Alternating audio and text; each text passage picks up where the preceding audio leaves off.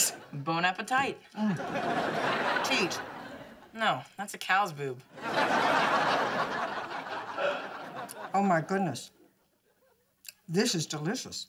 Don't eat more than three or you won't poop for a week. Trust me. Well, at least we have finally found a career path for you. Cool. I'll get the chips and we'll talk about cars. You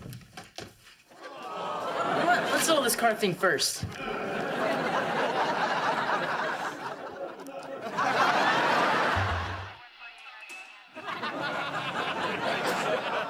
Terrific sandwich. Yeah. I